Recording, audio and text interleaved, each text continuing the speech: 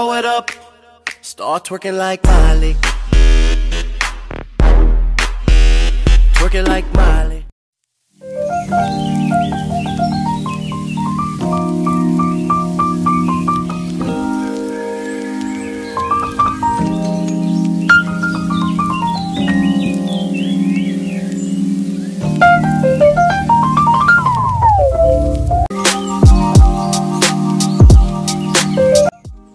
আসসালামু আলাইকুম।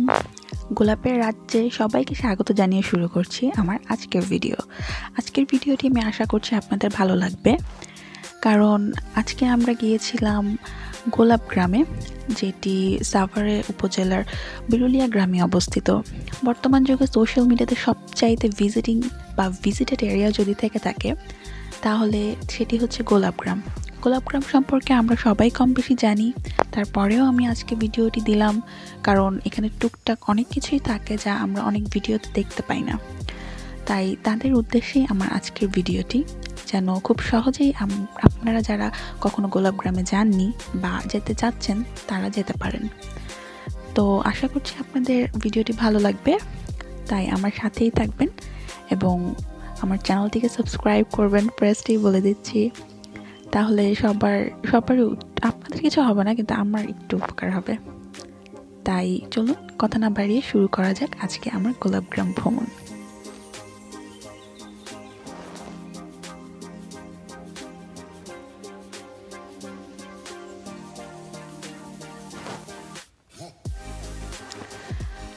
যাত্রা শুরু হয়ে গেছে। আমরা সকালে গিয়েছিলাম বের হয়েছিলাম। আমরা গিয়েছি হচ্ছে মিরপুর এক থেকে। মিরপুর এক মাজার রোডের ওইখানে লেগুনা স্ট্যান্ড আছে। যারা জানেন তারা তো জানেনি আর যারা না জানেন, তাদের জন্য বলে দিচ্ছি, মাজার রোডের ওইখান থেকে আপনারা খুব সহজেই বেরিবাদ হয়ে লেগুনায় করে আকরান বাজারে চলে যেতে পারবেন। বিরুলিয়া ব্রিজ পার করেই আকরান বাজার। আকরান বাজারে নামলে আপনারা সেখান থেকে অটো বা রিক্সায় করে সরাসরি গোলাপ গ্রামে যেতে পারবেন। আর আরেকটি জায়গা হচ্ছে, সেটা হচ্ছে অন্যান্য জায়গা থেকে যারা আসতে চান, তাদের জন্য বলে দিচ্ছি। সেটা আপনারা এসে সাভার বাস স্ট্যান্ডে নামলে অন্ধ মার্কেটের এখান থেকে আপনারা অটো পাবেন। অটোতে ভাড়া সে একই নেবে আকরান বাজার এসে নামিয়ে দেবে। সেখান থেকে আপনাদেরকে আবার অটো করে গোলাপ গ্রামে যেতে হবে। আর আরেকটা পথ হচ্ছে নদীপথ। সেটা হচ্ছে বেড়িবাঁধ হয়ে আপনারা ট্রলারে করে সাদুল্লাপুর গ্রামে নামি, নামতে পারবেন। নামার পরে সেখানে আপনারা গোলাপ গ্রামে যেতে পারবেন অটোতে বা রিক্সায় করে। আর সব ক্ষেত্রেই আপনাদের ভাড়াটা অবশ্যই মিটমাট করে নিতে হবে। মিটমাট করে নিলে আপনাদের জন্যই ভালো। তারপরে আমরা চলে এসেছি বিরুলিয়া ব্রিজের উপর। বিরুলিয়া ব্রিজটি দেখতে খুবই সুন্দর। তুরাগের উপর দিয়ে চলে গেছে এই ব্রিজটি।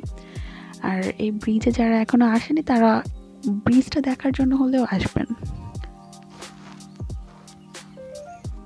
আমাদের যাত্রা শুরু থেকে শুরু করে আমাদের গোলাপগ্রামে যাওয়া পর্যন্ত সম্পূর্ণ সময় লেগেছে মোট পঁয়তাল্লিশ মিনিট। এই পঁয়তাল্লিশ মিনিটটা আসলে খুব এনজয়েবল ছিল, কারণ ওয়েদারটা খুব ভালো ছিল সেদিন। না রোদ, না গরম, না বেশি ঠান্ডা। তাই আমরা বলব আপনারা যারা যেতে চাচ্ছেন, তারা এদিকটাও একটু বিবেচনা করে যাবেন। কারণ গিয়ে যদি ঘুরতে না পারেন, মন মতো, ভালো মতো, আরামদায়ক না হয় ঘোরাটা, সেই ঘোরাটা আসলে কখনোই ভালো লাগে না। এরপর আমরা চলে এসেছি আকরান বাজারে। আকরান বাজারে গিয়ে আমরা টেম্পল স্ট্যান্ডে নেমে গিয়েছি। টেম্পল স্ট্যান্ডে নেমে সোজা হাঁটা শুরু করলাম।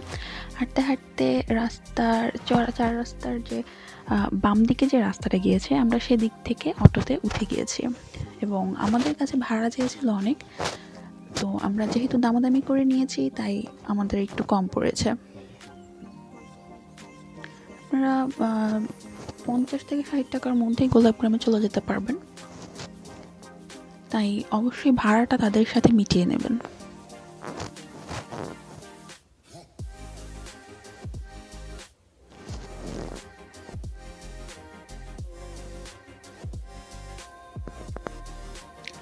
গোলাপ গ্রামের ভেতরে আমরা ঢোকা শুরু করে দিয়েছি।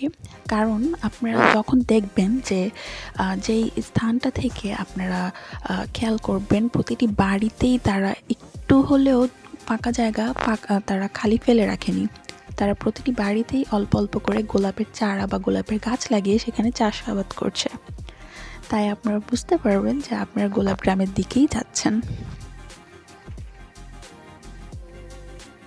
দেখুন, প্রতিটি বাড়িতেই তারা গোলাপের চাষ করছে। অল্প হলেও বা বেশি হলেও সব কিছুতেই তারা গোলাপ গাছ লাগিয়ে রেখেছে।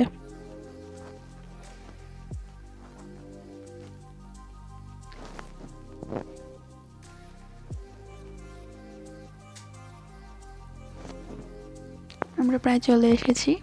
আর কিছুক্ষণের মধ্যেই আমরা নেমে যাব।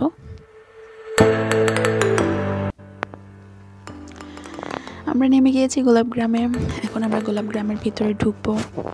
এটা হচ্ছে মেইন রাস্তা। মেইন রাস্তা দিয়ে আমরা সামনের দিকে এগিয়ে যাব। এগিয়ে গেলেই আপনারা রাস্তার মুখ থেকেই দেখতে পাবেন বিভিন্ন ধরনের ফুলের দোকান এবং তাদের পেছনেই তাদের নিজস্ব ক্ষেত। গোলাপের চাষ তারা করে এবং সেখান থেকেই তুলে তারা গোলাপ তাদের দোকানে বা পশটা সাজিয়ে বসে। এখানে আমি বলব, আপনারা যারা এখানে ঢুকবেন, তারা অবশ্যই এটা খেয়াল রাখবেন যেন এখান থেকে আপনারা হেয়ার ব্যান্ড বা ফ্লাওয়ার ব্যান্ডগুলো না কেনেন। কারণ এখানে তারা দাম বেশি রাখে, যেহেতু এটা প্রথম দিকে। ওরা একদম অভিমুখেই তাদের দোকান, তাই ওরা দামটা একটু বেশিই রেখে থাকে। আমরা যতগুলো দোকান দেখেছি, সবগুলোতেই বেশি ছিল দাম। কিন্তু তারপরে একটা দোকানে ঢুকেছিলাম, কারণ ওর ফুলগুলো খুব ভালো লেগেছিল। এবং সেই দোকানে ঢুকে আমরা ভিডিও করার পাশাপাশি আমরা ফুলের দাম জিজ্ঞেস করছিলাম যে হেডব্যান্ডগুলো কত নেবে? আর ওদের বাগানে ঢুকে আমাদের ছবি তুলতে দিবে কিনা? ওরা বলল যে হ্যাঁ দিবে। কিন্তু হেডব্যান্ডের দাম একশো বিশ টাকা, দেড়শো টাকা এরকম, যেটা খুবই বেশি ছিল। তাই বলব আপনারা কখনই প্রথম দিকে যেসব দোকান আছে সেখান থেকে না কিনে যত ভেতরে সম্ভব সেখান থেকে আপনারা কেনার চেষ্টা করবেন। সেখানে আপনারা একশো টাকা বা একশো বিশ টাকার জিনিস, আপনারা পঞ্চাশ টাকা, চল্লিশ টাকার মধ্যেই পেয়ে যাবেন।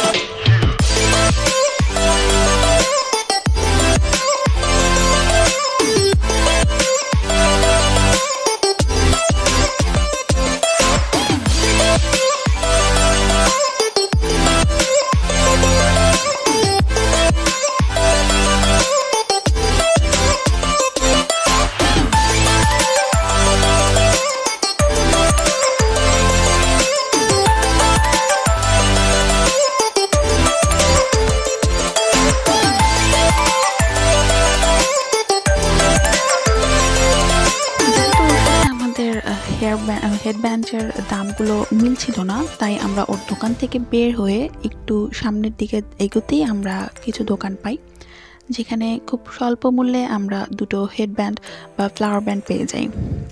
যেখানে ও একশো বিশ টাকা এবং দেড়শো টাকা চেয়েছিল, সেখানে আমরা সেই হেয়ার ব্যান্ডগুলো ফ্লাওয়ার ব্যান্ডগুলো পঞ্চাশ টাকার মধ্যেই পেয়ে যাই। প্রতি পিস পঞ্চাশ করে দুটো একশো টাকার মধ্যে পেয়ে গিয়েছিলাম।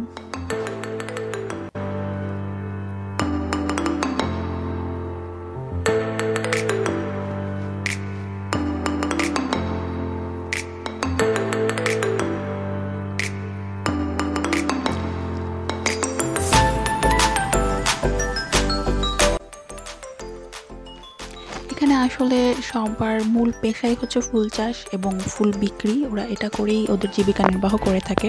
তাই এখানে আসলে আপনি ছোট, বড়, বৃদ্ধ সবাইকেই দেখবেন এরকম দোকান সাজিয়ে বসে আছে এবং ফুল বিক্রি করছে।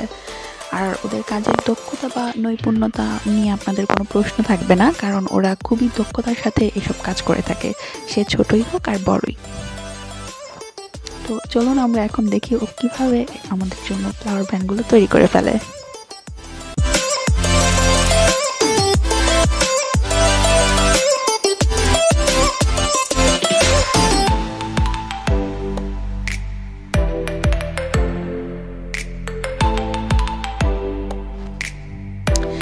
একটা মজার ঘটনা ঘটে। আমরা যখন ফ্লাওয়ার ব্যান্ডগুলো তৈরি করছিলাম, তখন হুট করেই সেই ভিতরের ক্ষেতগুলো থেকে একটা, একজন কৃষক দুটো মহিষ, বিশাল বিশাল মহিষ নিয়ে চলে আসে।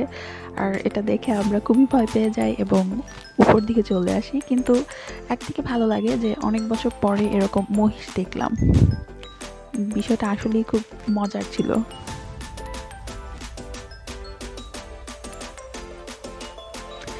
হয়ে গেছে আমাদের হেডব্যান্ড এবং আমি এখান থেকে আরও একটা ফুল কিনি। এই ফুলটা আমি ছোট চন্দ্রমল্লিকা মনে হয় যেগুলো খুবই খুবই খুবই কম দামে আপনারা পাবেন। এক আহ, বা একটা তোড়া দশ টাকা করে যেটা আপনারা বাসায় এসে এক সপ্তাহের মতো পানিতে রেখে দিতে পারবেন। কিচ্ছু হবে না। তো এখন আমরা মূল গোলাপ গ্রামের দিকে যাচ্ছি। যেতে যেতেই আমাদের চোখে নজর কাড়লো বিশাল বিশাল গোলাপ। এখানে হিউজ পরিমাণে গোলাপ গাছ এবং সবগুলোর সাইজই মোটামুটি অনেক অনেক অনেক বড় ছিল। আসলে এখানে আসলে আপনারা প্রতিটি বাগানের সামনে এরকম ছোট ছোট পশরা দেখতে পাবেন। যেগুলোতে এদের মালিক, বাগানের মালিকরাই মূলত এখানে থাকে এবং তারা এই গোলাপগুলো বিক্রি করে এবং গোলাপ বিক্রি করে তারা আপনাদেরকে সেগুলো দিয়ে হেয়ার ব্যান্ড বা ফুলের তোড়া বানিয়ে দেবে। এখানে সব ধরনের ফুলই চাষ করা হয়। এখানে আপনারা গোলাপ যেমন দেখবেন, তেমন জারবেরা দেখবেন, চন্দ্রমল্লিকা দেখবেন, কিন্তু বেশি আসলে গোলাপটাই চাষ করা হয়।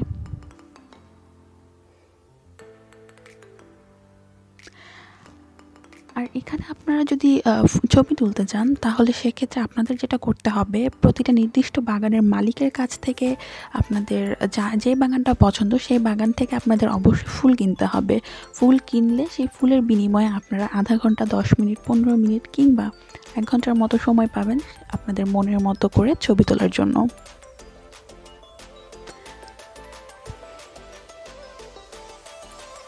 যত দূর চোখ যায় তত দূরই আপনারা শুধু গোলাপ আর গোলাপ দেখতে পাবেন।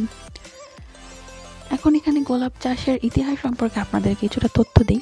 সেটা হচ্ছে এখানে প্রায় পঞ্চাশ থেকে ষাট বছর আগে একজন লোক যিনি বোটানিক্যাল গার্ডেনে গোলাপের মালি ছিলেন, গোলাপ গাছ চাষ করতেন, গোলাপ গাছের পরিচর্যা করতেন।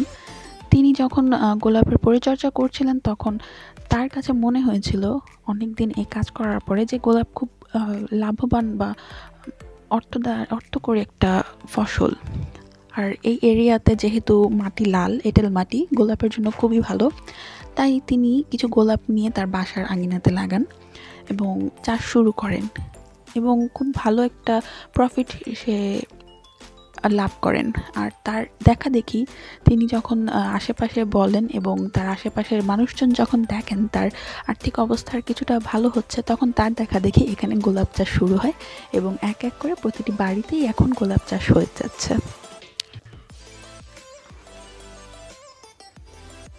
এটি হচ্ছে চন্দ্রমল্লিকা। এটা ইন্ডিয়ান একটা চন্দ্রমল্লিকার গাছ। এখানের মালিক যে ছিলেন তাদের এখানে সবজি ক্ষেত আছে। তো আমরা এখানে দাঁড়িয়ে ছবি তুলছিলাম, কিন্তু ভিতরে যাওয়ার কোনো অনুমতি নেই, কারণ মানুষ এটার ভিতরে ঢুকলে তাদের কৃষকের ফসলের ক্ষতি করে ফেলে। তারা ছবি তোলার জন্য ঢুকে। কিন্তু ছবিটা আসলে সেভাবে তুলে, না তুলে ফুল ছিঁড়ে নিয়ে যায় বা গাছগুলোকে নষ্ট দুমড়ে মুচড়ে ফেলে, এজন্য ভিতরে ঢুকতে দেয় না।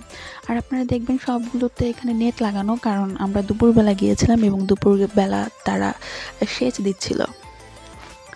তাই একটু খেয়াল রাখবেন যে সেচের সময় ছবি আসলে তোলা যাবে না বা ক্ষেতের ভিতরে ঢুকাও যাবে না।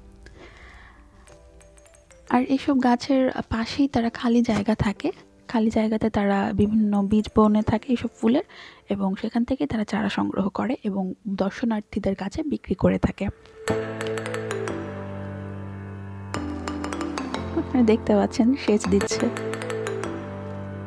এই পানিটা সবগুলো খেতেই চলে যাচ্ছে।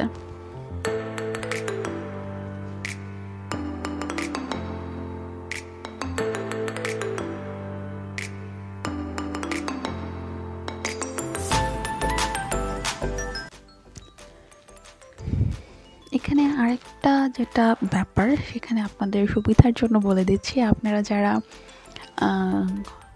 মানে ক্ষেতের বা সরাসরি কৃষকের কাছ থেকে ফসল কিনতে পারেন না বা শখ করে যারা কেনেন, শাকসবজি যেখানেই যান সেখানে কিছু শাকসবজি হলে হয়তো ভালো হতো। এটা বা ফসল, বিভিন্ন ধরনের খাবারের জন্য যারা খোঁজ করে থাকেন তাদের জন্য বলছি, এখানে কিন্তু আপনারা সেই প্রস্তুতিও নিয়ে আসতে পারেন। কারণ এখানকার কৃষকেরা ফুলের পাশাপাশি বিভিন্ন শাকসবজিরও চাষাবাদ করে থাকে। আর এটা হচ্ছে সেই চাষাবাদেরই একটা অংশ। এখানে একজন বৃদ্ধ মহিলা আছেন যার এই পুরো ফুলকপি ক্ষেতটাই ছিল এবং ফুলকপিগুলো দেখতে খুবই সুন্দর ছিল। আমরা দেখে তাক তিনি আমাদের সামনেই ছিলেন এবং তিনি বললেন যে, ফুলকপি যদি নিতে চাও তাহলে নিতে পারো। তাই আমরা একটু কমে বা দেখে দেখে যেহেতু সুন্দর লেগেছে তাই আমি আমার সাথে যারা ছিল আমার শাশুড়ি তা- তাদেরকে বললাম যে আম্মু কিছু সবজি নিয়ে যাই। যেহেতু ফুলকপিগুলো খুবই টাটকা এবং খুবই সুন্দর দেখতে। এরপরে নিয়ে যাওয়ার পরে আমরা চলে আসি জায়গাটা এটা হচ্ছে মূলাখ্যাত মূলাখ্যাতের এখানে খুবই সুন্দর। আমাদের এই পর্যন্তই ভ্রমণ চলে এবং খুবই আনন্দদায়ক ছিল আমাদের এই ভ্রমণটা। আশা করছি আপনাদেরও আজকে আমাদের এই ভ্রমণটা ভালো লাগবে বা ভিডিওটি ভালো লাগবে। যদি ভিডিওটি ভালো লাগে তাহলে আমাদের, আমার চ্যানেলটিকে সাবস্ক্রাইব করবেন এবং লাইক দেবেন এবং সাথেই থাকবেন। আল্লাহ হাফেজ।